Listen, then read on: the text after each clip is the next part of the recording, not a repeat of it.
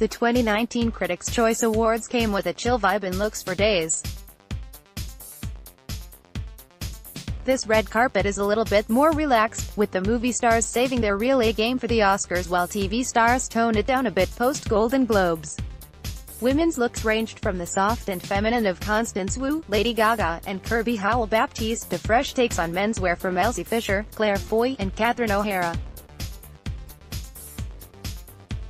And men stepped it way up, with Timothée Chalamet, Billy Porter, and Cody Fern continuing to stretch what red carpet menswear could be after their splashy Golden Globes looks. Click on to see some of the best looks from the Critics' Choice Awards red carpet.